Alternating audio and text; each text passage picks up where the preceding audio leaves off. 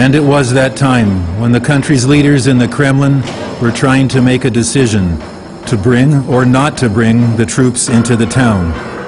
Until January 19th, Gorbachev and the Kremlin did not interfere in the situation, despite an adequate military garrison being located in Baku, just like the internal forces, which were able to take control of the situation over a short period of time. Unlike Sumgait, the Soviet army was late in Baku not by three hours, but a whole week. Moreover, to stop the pogroms, it was enough to let in the forces of the Baku army garrison and the internal troops. The troops entered the town, seized with pogroms, not to stop them, but to prevent the final seizure of power by the People's Front of Azerbaijan, which was planned for January 20th. From an article in Moscow News, February 4th, 1990. The troops entered the town, seized with pogroms, not to stop them, but to prevent the final seizure of power by the People's Front of Azerbaijan from an article in Sobesednik Weekly. But why, then, were the Armenian pogroms allowed? Why did those pogroms, which were committed with silent approval of the authorities, become the reason to engage troops? On January 20th, the Soviet troops finally entered the town. They entered when the Armenians were entirely expelled from Baku. On February 13th, 1990, the Supreme Council of the Armenian SSR made a decision to condemn the pogroms in Baku and other areas of the Azerbaijani SSR, acknowledging them as the continuation of genocide towards Armenians, as well as demanded from the Supreme Council of the USSR to acknowledge and condemn the genocide of Armenians in Baku and other populated areas of the Azerbaijani SSR in January 1990. The UN Convention on Prevention and Punishment for the Crime of Genocide states, In the present convention, genocide means any of the following acts committed with intent to destroy, in whole or in part, a national, ethnical, racial, or religious group as such. A. Killing members of the group. B. Causing serious bodily or mental harm to members of the group.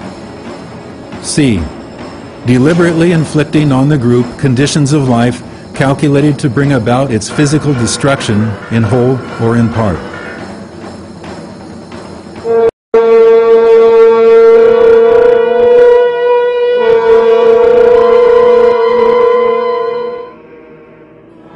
The Bloody Week in Baku remained largely unrecognized by the Soviet people. The events in Baku were covered very poorly and in a biased manner. The foreign media was covering the pogroms in Baku more enthusiastically. Radio stations Liberty and BBC were airing daily updates. On January 19, 1990, the New York Times published an article which said, Azerbaijan is not Lithuania. Nationalists in Azerbaijan also talk of independence, but their protest includes bloody pogroms against their Armenian neighbors. On July 27, 1990, in the same newspaper, an editorial presented an open letter to the international community signed by nearly 150 renowned foreign scholars and human rights defenders who named the Armenian pogroms in Baku racism, threatening the future of mankind.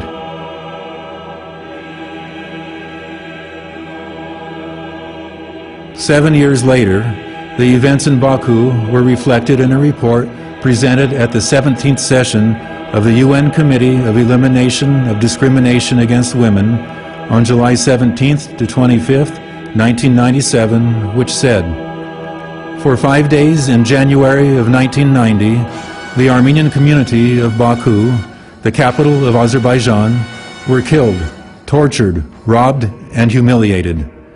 Pregnant women and babies were molested. Little girls were raped in front of their parents' eyes. Christian crosses were burned on their backs, and they were abused for their Christian faith.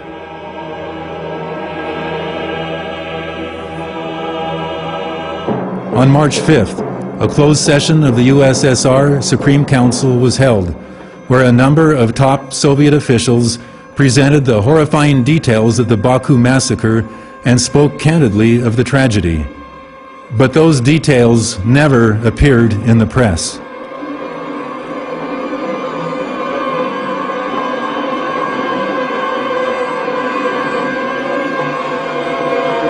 Twenty years have passed since the pogroms in Baku and exodus of Armenians.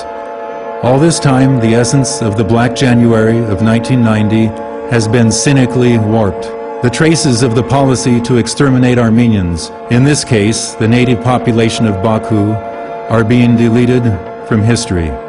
This is the so-called Shahid Alley in contemporary Baku, where the pogrom makers, murderers, and rapists are buried.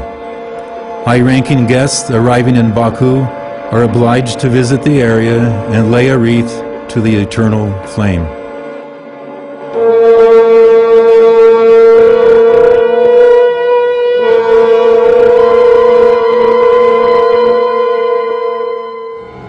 There are practically no Armenians left in Azerbaijan. Xenophobia and hatred towards Armenians have been made the state policy of Azerbaijan. In view of the whole world, Christian cemeteries and monuments are being demolished. All this is an alarm to the international community.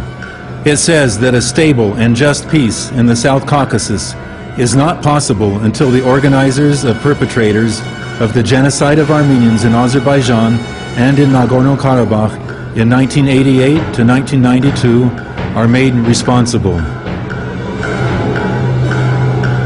This is what all those who advocate for Azerbaijan's claims on Nagorno-Karabakh should be aware of. They inflame Azerbaijan's appetite and spur its authorities to organize new acts of genocide in the region of the South Caucasus.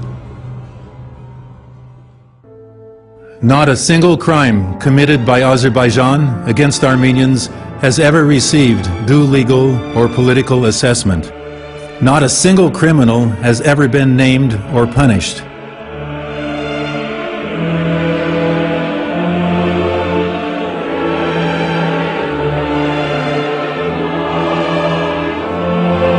The Nuremberg for Baku is still ahead.